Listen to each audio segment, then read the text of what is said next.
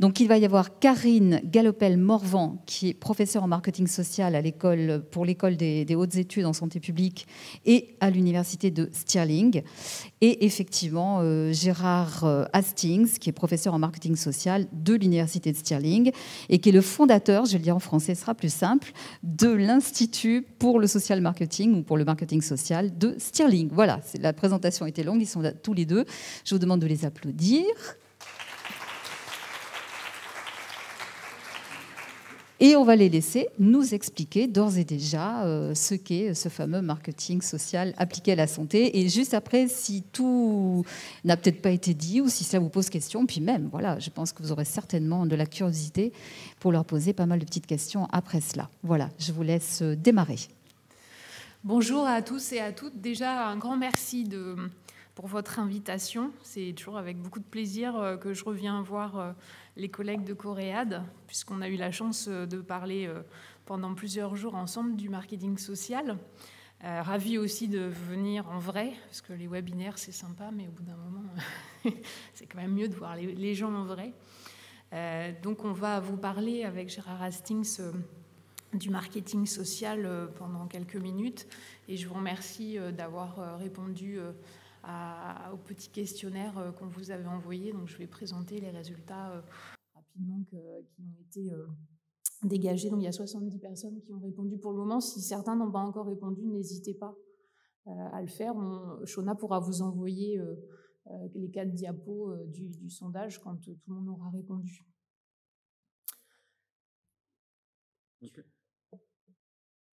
on, va, on va faire une présentation en duo. Alors. Donc voilà, alors je vais commencer par euh, vous bah, présenter les résultats de ce petit questionnaire hein, qu'on vous avait envoyé avec Gérard Hastings. Je trouve ça, alors c'est, intéressant euh, parce que je voilà, voulais savoir un peu votre connaissance et votre opinion par rapport au marketing social. Et puis euh, c'est aussi un moyen de, d'entrer en matière avec le marketing social puisque on pense souvent, c'est aussi pour ça que je vous avais posé la question, marketing égale communication, mais je dirais que le réflexe et le cœur du marketing social, c'est vraiment d'essayer de comprendre euh, la cible ou les publics euh, auxquels on s'adresse et de comprendre leurs motivations, freins, opinions, etc. Donc c'est ce qu'on a voulu faire aussi euh, ici avec ce, petit sondage. Alors, voilà, on rentre dans, le, dans les quatre questions qu'on vous avait posées. Donc, il y a eu 70 réponses, comme je vous disais. Donc, avez-vous déjà entendu parler du marketing social? Euh, donc 45,7 non. Bah, écoutez, j'espère que vous allez apprécier de, découvrir euh, euh, la discipline. donc comme quoi c'est un thème qui peut être peut-être alors intéressant, je sais pas, mais utile parce que c'est pas forcément encore très connu en France. Ça commence à se développer, hein, mais c'est pas surtout dans le domaine de la santé, j'entends. Hein, c'est pas une discipline qui est aussi connue évidemment que la promotion de la santé, par exemple. Alors l'opinion, alors ça, ça fait à peu près 20 ans maintenant que, j'enseigne sur cette euh, discipline et, depuis 2011 euh, à l'école des hautes études en santé publique. Donc j'ai vu une évolution très forte de, l'opinion, hein, de, l'introduction de cette discipline en prévention. Alors ici, euh, très favorable 11,4, assez favorable 30, très défavorable 7,1 et assez défavorable 10%. Ce bah, sera intéressant à la fin de notre présentation de voir si votre euh, avis a évolué ou pas euh, par rapport à cette euh, discipline nouvelle en prévention, en tout cas en France. Alors, est-ce qu'il y a une différence selon vous entre le marketing social et la communication sociale? Donc, ne sait pas, la plupart. Et sinon, non, il n'y a pas de différence. Donc, en, réalité, il y en a pas mal. Hein. je pense que une des erreurs euh, quand, on, mobilise le marketing social, c'est de se focaliser uniquement sur la communication, mais si on oublie euh, euh, notamment la compréhension des publics auxquels on s'adresse, la communication est à peu près vouée à l'échec.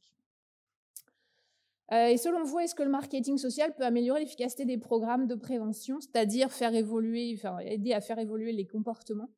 Bah Là, c'est plus, positif, hein, puisque 44,1% vous êtes d'accord pour cela, pour dire ça. Euh, tout à fait d'accord, 19,1. Euh, pas trop d'avis euh, pour à peu près un tiers des, répondants. Bah, merci beaucoup pour vos réponses. Et puis, on, va voir ensemble ce qu'il y a derrière le marketing. Et, vous n'hésitez pas à nous dire si votre avis ou votre opinion ou votre connaissance a évolué après ces quelques minutes d'intervention.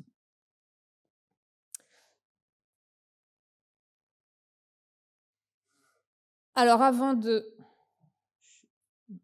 En fait, il y, a, des diapos qui manquent, mais écoutez, je pense que ça va aller. avant de, rentrer dans le cœur du, sujet, euh, je vais laisser la parole euh, à Gérard Hastings qui va vous présenter une petite histoire. Merci bien. Karine, c'est un grand plaisir d'être ici aujourd'hui. Je viens d'Écosse et avec la pluie, je suis vraiment chez moi.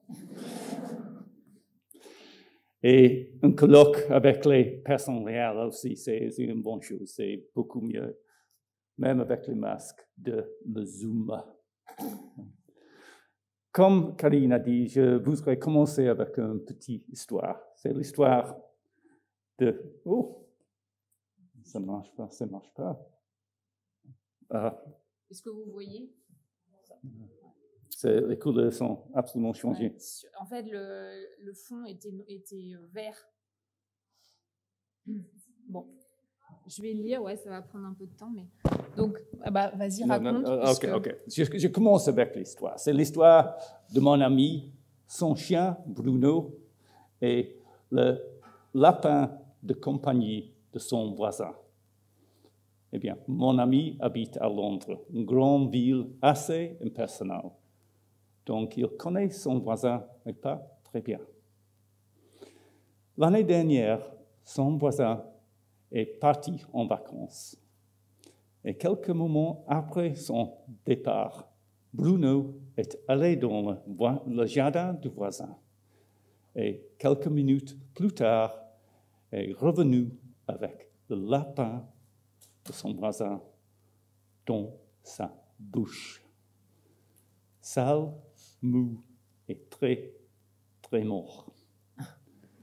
Qu'est-ce qu'il va faire? C'est une catastrophe. Il ne peut pas confesser de tels crimes. Mais puis il a une idée, il pense une bonne idée. Eh bien, eh il, il, a recoupé le lapin de chien, le nettoyé sous le robinet, et puis il est allé dans le jardin de voisin et remis le lapin dans sa cage. Et puis, il fait une prière. Quelques jours plus tard, son voisin est revenu de vacances et rien a dit. C'est un miracle. Merci, bon Dieu. Il a réussi avec son crime. Et quelques semaines plus tard, il a revu son voisin il a lui demandé Tu as passé une bonne vacances Et son voisin a dit Oui, oui, c'est une bonne vacances. Mais il y a quelque chose assez bizarre. Le jour de nous, nous sommes partis en vacances. Notre lapin de compagnie est soudainement mort. Qu'il faut faire Eh bien, j'ai creusé un trou dans le jardin. J'ai enterré le lapin. Mais quand nous retournons de vacances, il est encore dans sa cage. eh bien, le moral de cette histoire, c'est avant de chercher des solutions, il faut bien comprendre le problème. On doit commencer par faire un bon diagnostic. C'est absolument comme ça avec le marketing social.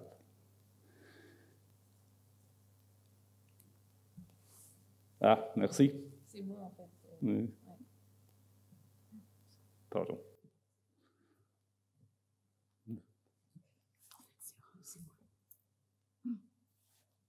Ah oui, oui ça c'est différent de ça et de ça. OK, on connaît dans la santé publique que beaucoup de les problèmes de santé arrivent, découlent de nos comportements individuels, le tabagisme, alcool, malbouffe.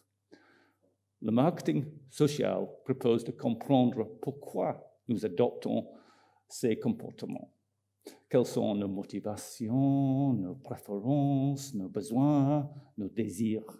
Toujours se poser la question, pourquoi les gens agissent ainsi? Mais aussi, il faut euh, rendre compte que les, les, individuels non euh, pas absolument libres. Comme a dit le poète John Donne d'Angleterre, No man is an island. Non, ça marche pas? Ah oui, ah oui, merci bien. No man is an island. Aucun homme n'est une île. Nous sommes tous influencés par nos communautés, les lois, l'environnement, notre gouvernement, etc., etc. Mais on peut dire que c'est encore une question de comportement. Pas le nôtre, mais celui de les autres, les politiques, les leaders d'opinion, les médecins, les professeurs, etc., etc. Et encore une fois, il, faut demander pourquoi les gens font comme ils font. Finalement, il faut penser particulièrement avec la santé publique de nouveau de, euh, l'industriel. Il faut pas, c'est pas possible de comprendre pourquoi on, les, gens fument ou, euh, mangent euh, les, aliments très sucrés sans comprendre le euh, comportement des industriels, de, Coca-Cola et de Philip Morris. Il faut encore une comprendre ça. Eh bien, avec le social marketing, c'est une question de comportement de l'individuel, de, de, de les politiques, et des industriels. Il faut comprendre tout ça pour assez bien comprendre qu'est-ce qu'il faut faire pour trouver les solutions aux problèmes de, santé publique. Il y a un autre, encore une fois, un autre dispositif, s'il vous plaît? Ah. Il faut comprendre tous ces influences individuelles, sociales, industrielles, avant de mobiliser l'utile du marketing social qui peuvent faire changer le comportement de santé. Et maintenant, Karine, allez, vous explique qu'est-ce qu'il y a, c'est utile de social marketing. Pour moi, je veux seulement demander que vous souvenez l'histoire de le lapin mort et le chien innocent. Merci bien.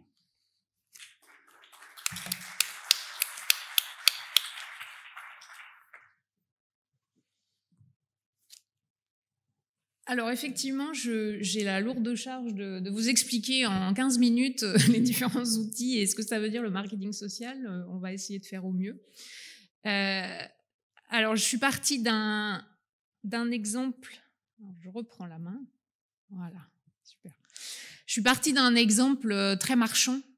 parce que souvent la question qu'on me pose quand je commence, quand je fais des formations en marketing social, c'est finalement, il y a, quelle est la différence entre le marketing social et le marketing marchand, dont on entend beaucoup plus parler, puisque c'est un outil qui est utilisé par les entreprises euh, depuis de bien nombreuses décennies. Euh, donc je donne souvent un exemple parce que ça permet d'illustrer euh, ce qu'il y a derrière le marketing marchand, puis de faire le lien ensuite avec ce qu'il y a derrière le marketing social en termes d'outils, comme Gérard proposait. Alors comme, euh, comme on l'a vu tout à l'heure, euh, l'important et le premier élément essentiel du marketing social, c'est vraiment de bien comprendre les individus. Donc dans le domaine du, euh, du marketing marchand, on, on, les appelle les consommateurs. Et puis également, comme le disait Gérard, en marketing social, en prévention, nos concurrents, ça peut être des industriels hein, comme Philippe Maurice, etc. Euh, donc dans le domaine marchand, ça va être aussi bah, la concurrence industrielle d'autres marques, par exemple, euh, qui vendent de l'alcool. Si vous-même vous êtes un industriel euh, impliqué dans, la, dans la vente d'alcool. Alors j'ai pris l'exemple de l'alcool parce que ça change un peu du tabac, puis ils ont encore, surtout en ce moment avec le gouvernement actuel, pas mal de marge de manœuvre pour faire à peu près ce qu'ils veulent, ce qui est quand même beaucoup moins le cas dans, dans le domaine du tabac en marketing, puisqu'on a la chance d'avoir une loi E20 euh, qui est complète et qui en plus est bien appliquée euh, la plupart du temps. Donc le premier point, c'est de bien comprendre les consommateurs et la concurrence. Le deuxième euh, outil du marketing social, ça va être de segmenter et de cibler. L'idée ici est de dire qu'on ne peut pas s'adresser à tous de la même façon, que ce soit en termes de messages de communication, d'offres de services, d'offres de, produits, etc. Parce que chaque groupe de population est différent, il a des, opinions, des, motivations, des freins à la consommation euh, différentes.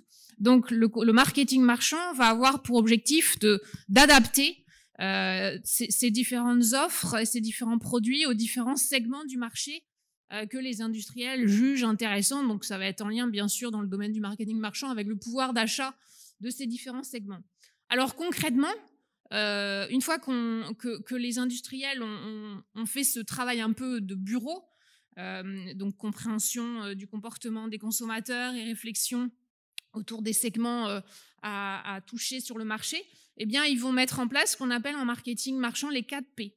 C'est-à-dire qu'ils vont se poser la question de réfléchir à quel produit ou à quel service on va pouvoir proposer en lien, bien sûr, avec les segments qu'on a identifiés.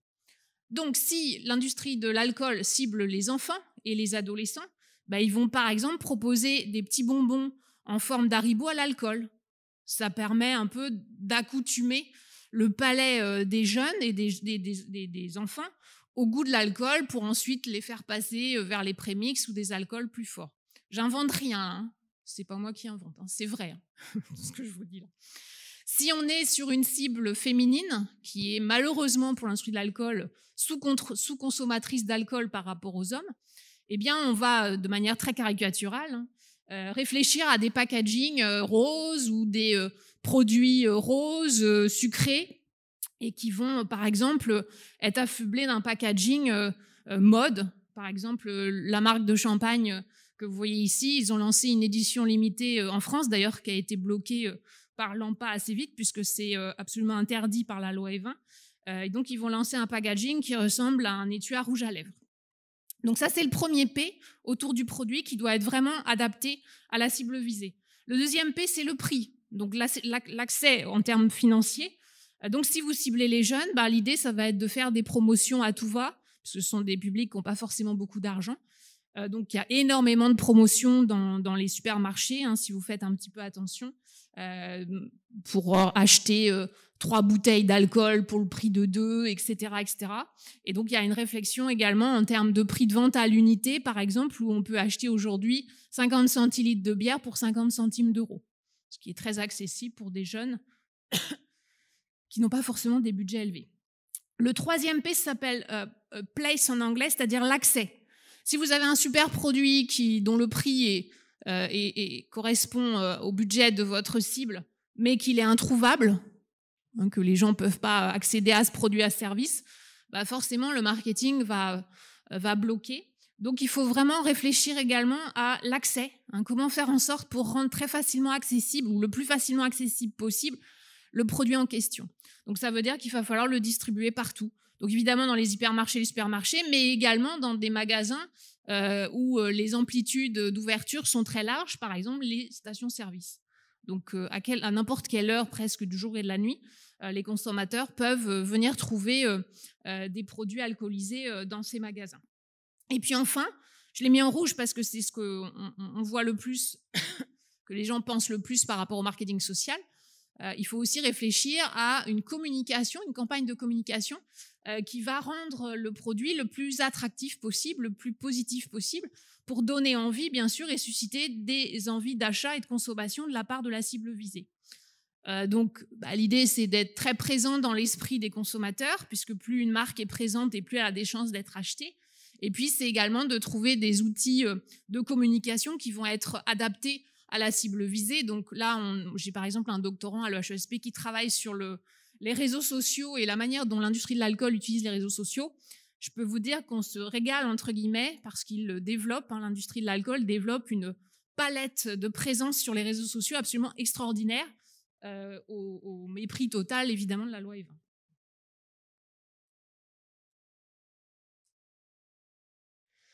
Alors, quand on passe au marketing social, bah, on va toujours avoir cette idée en amont de bien comprendre les comportements. Hein. C'est la raison pour laquelle euh, Gérard vous a présenté cette histoire qui, qui euh, je dirais que le plus important pour moi, c'est vraiment ça en marketing social, hein, c'est de bien comprendre les besoins et les attentes des publics que vous visez. Donc ça, on, reste sur cette idée-là de manière fondamentale.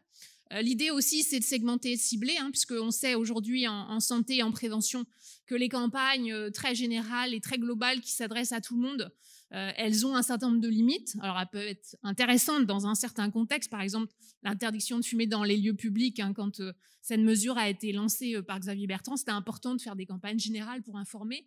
Mais si vous voulez vraiment changer et modifier les comportements et inciter les gens à arrêter de fumer, par exemple, c'est beaucoup plus efficace d'avoir des campagnes qui ciblent les jeunes, les femmes, etc. Donc le ciblage, la segmentation.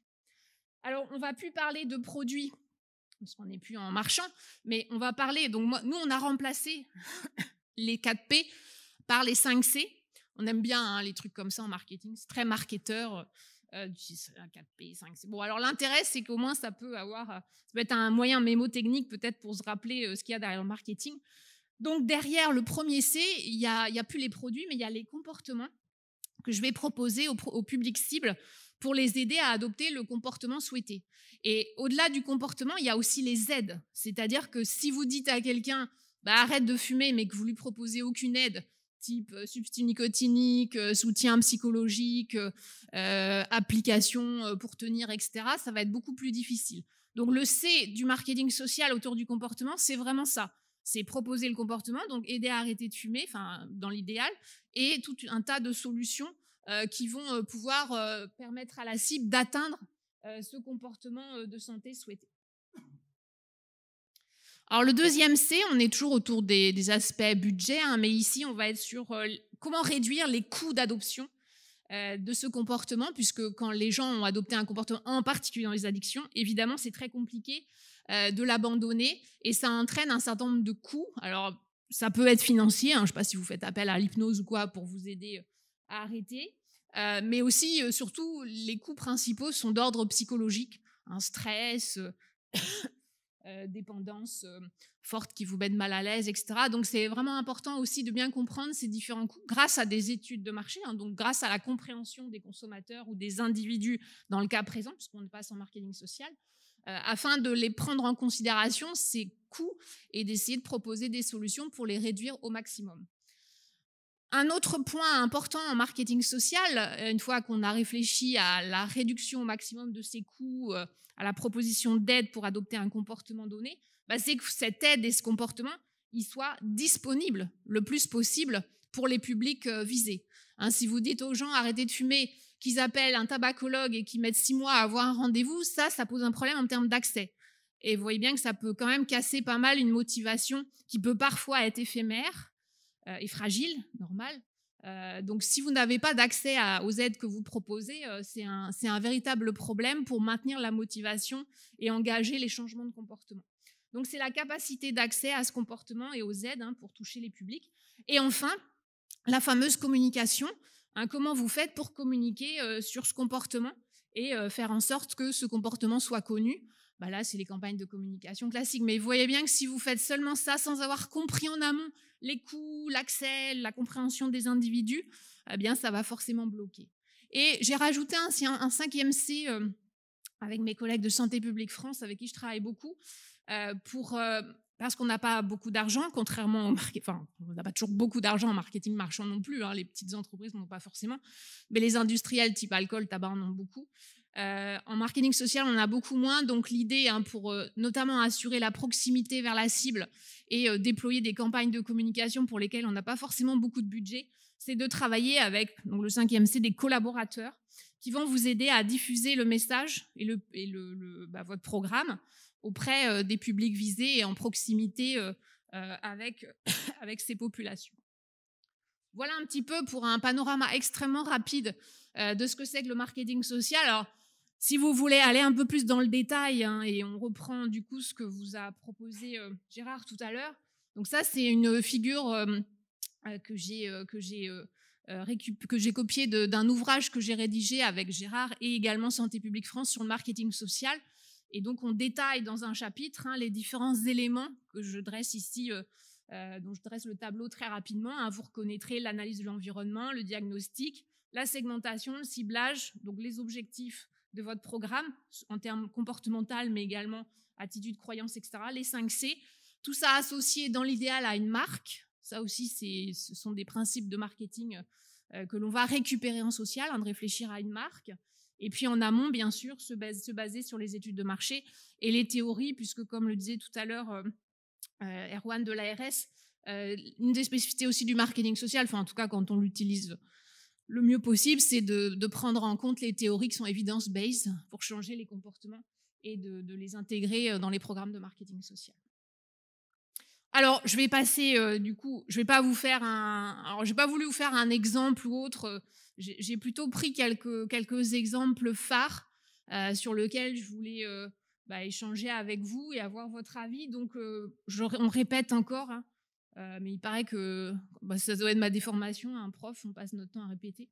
Donc, le marketing social, on part vraiment de la connaissance des individus. Il faut comprendre leurs besoins, leurs espoirs, leurs rêves, leurs attentes, etc donc on est en quelque sorte anthropologue. Moi, dans mon, dans mon pôle marketing social, on a la chance d'être cinq euh, aujourd'hui à l'EHESP à travailler sur cette thématique. On commence systématiquement par faire des entretiens qualitatifs approfondis avec euh, les publics. Alors donc, il ne doit pas être confondu avec la communication. Euh, le marketing social, hein, comme je vous montrais avec l'histoire des 5 C, c'est absolument nécessaire d'avoir une réflexion quand on met en place ces programmes de marketing social en termes d'accès, euh, à la fois aux aides, aux comportements que vous proposez, euh, en termes de coûts d'adoption du comportement pour tenter de les réduire, en termes de marque, pourquoi pas. Alors il y a des programmes hein, qui, euh, en marketing social, ont, fait l'objet d'évaluations et qui ont, été lancés sur plusieurs années et qui ont très bien fonctionné. Alors je vous parle des États-Unis là, mais je vous parlais tout à l'heure de la France, que on commence à avoir un véritable engouement pour cette discipline du marketing social en France auprès des acteurs de santé. Donc, euh, deux exemples de campagnes euh, qui ont pas mal marqué euh, l'histoire du marketing social. C'est une campagne Verb, qui est une campagne américaine, qui, aux États-Unis, qui s'adresse aux adolescents, enfin, qui est terminée, hein, et dont l'objectif était d'inciter les adolescents à bouger, euh, et à, faire de l'activité physique tous les jours. Et donc, ils ont choisi euh, cette marque, hein, Verb, en associant euh, cette marque à tout un tas de verbes sauter, jouer, danser, etc., qui illustraient l'activité physique. Et un peu à l'instar de Nike, si vous voulez, ils ont développé des campagnes de communication du même style que Nike et ils ont vraiment aussi joué sur la proximité avec un peu des, événementiels, des caravanes qui se déplaçaient euh, dans les villages, euh, des kits de formation pour les enseignants qui pouvaient utiliser euh, Verb donc à l'école. Un autre exemple également, plus dans le domaine du tabac, de campagne de marketing social, c'est Truth, pour vérité, qui est une campagne qui a été lancée sur les adolescents aux États-Unis également. Et donc la marque, le slogan de cette campagne, c'était ne vous laissez pas manipuler par l'industrie du tabac. Donc c'était lié à la base avec beaucoup d'études de marché, hein, d'études d'entretien avec les jeunes, et ils sont rendus compte que c'était un axe qui fonctionnait plutôt pas mal, et ils ont développé une campagne entière avec une marque, des goodies, etc., autour de, cette, de cette idée. Alors un autre exemple, c'est pas une marque là, mais c'est plus euh, l'histoire de l'accès. Euh, si on fait une campagne de communication pour dire aux gens, bah, trier, trier, trier, mais qu'à aucun moment dans leur environnement ils trouvent des poubelles euh, pour trier, bah, vous voyez, ça c'est l'exemple, c'est une illustration de l'accès. Bah, forcément, ça va bloquer et même, même les plus motivés peut-être vont finir par se décourager. Parce que quand il faut faire euh, plusieurs mètres ou kilomètres pour déposer ces déchets qu'on veut trier, voilà, c'est pas toujours simple d'aller jusqu'au bout du, du changement de comportement. Alors, dans l'idée aussi du marketing social, c'est de faire en sorte de ne pas laisser les gens euh, tout seuls face euh, au changement de comportement que vous leur proposez. L'idée, c'est de les accompagner le mieux possible, les prendre un peu par la main et leur, proposer des comportements alternatifs qui vont leur plaire. Hein. Donc, encore une fois, déceler par rapport euh, dans les études de marché ou dans les études qualitatives. donc, des comportements alternatifs aux comportements risqués pour la santé. Alors, ça peut être des choses euh, très basiques euh, et très évidentes, hein, du type euh, Dry January, vous connaissez tous. Bah, par exemple, sur leur site internet, ils ont développé des recettes de cocktails sans alcool, juste pour donner en fait des idées et des pistes pour prendre l'apéro sans forcément utiliser boire de l'alcool. Alors une autre campagne, donc là, ça va être un peu le challenge. Il faut la lancer sur Internet. J'espère que ça va être bon. Alors, c'est une campagne australienne que je trouve intéressante qui s'appelle Hello Sunday Morning en fait, qui montre euh, ça s'adresse plutôt aux jeunes adultes, qui montre en fait tout ce qu'on peut faire un dimanche matin quand on n'a pas la gueule de bois et qu'on n'a pas bu beaucoup le samedi soir jusqu'à point d'heure. Vous allez voir que c'est une campagne qui, donc, qui propose des comportements alternatifs. Qu'est-ce qu'on fait? Qu'est-ce qu'on peut faire quand on n'a pas bu beaucoup? Super. Le samedi soir.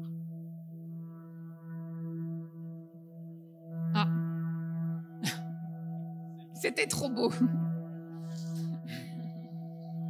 je sais pas, je, dois être maudite avec mes slides.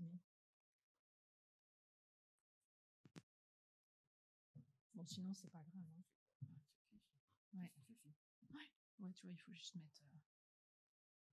Euh, tu peux lancer parce que c'est long.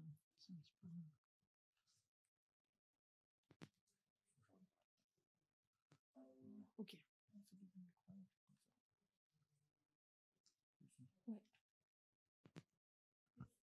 Alors, le juste le temps que se règle un petit peu la technique, à la limite, ben voilà, c'est bon.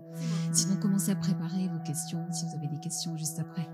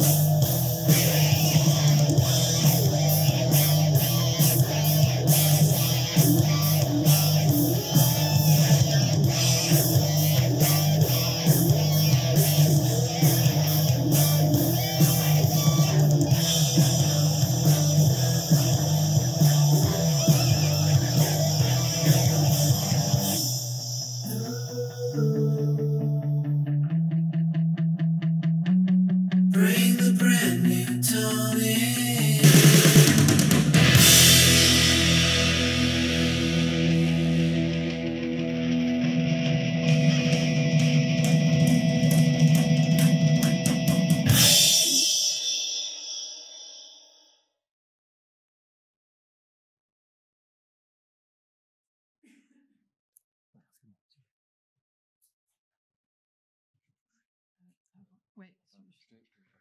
voilà, donc des, plein de comportements alternatifs, euh, ce qu'on peut faire quand on n'a pas euh, la gueule de bois euh, le dimanche matin. Alors le marketing social, bah, ce que je vous disais aussi tout à l'heure, hein, c'est l'idée, c'est vraiment de mettre à la disposition le plus possible des services, des aides, des environnements qui vont être favorables pour changer les comportements que vous souhaitez faire évoluer. Donc, si on parle de, prévention des MST, bah, il faut mettre des préservatifs euh, à disposition dans le plus grand nombre d'endroits possible et pas, euh, dans des endroits où voilà il y a des comportements de ce genre, hein, boîte de nuit, bar, etc. Quand vous êtes sur du paludisme, bah, pareil, hein, il faut mettre à disposition des populations euh, des moustiquaires. Quand vous êtes sur des changements de comportement, activité physique, tabac, etc., alcool, ça peut être intéressant aussi de proposer des applications qui vont avec pour aider à tenir, euh, pour renforcer la motivation. Il y a des choses de, de plus en plus intéressantes qui se font euh, sur euh, sur l'e-santé via des applications. Et puis, si vous voulez inciter les gens à prendre le vélo, bon, il y a la solution extrême, hein, c'est la Covid. Et puis, il y a l'autre solution qui est de, proposer le maximum de pistes cyclables. alors ça, c'est on, se fonde sur les principes du nudge. Hein. Plus vous avez un environnement qui va être favorable et plus les gens vont, vont prendre le vélo sans, sans, avoir l'impression de, que c'est dangereux, hein, ce qui peut encore être le cas dans un nombre de villes.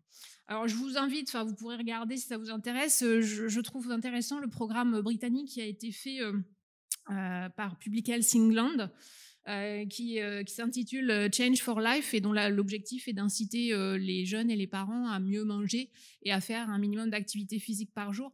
Et ce que je vous, de ce dont je vous parlais là, de proposer des services, des, des, conseils, des comportements alternatifs, c'est vraiment extrêmement bien présenté sur leur site internet avec des idées pour constituer le, pack lunch du midi pour faire 10 minutes d'activité physique avec ses enfants, etc. Donc le marketing social va prendre en compte la concurrence des comportements. Je ne vais pas rester euh, trop longtemps là-dessus puisqu'on en a déjà parlé.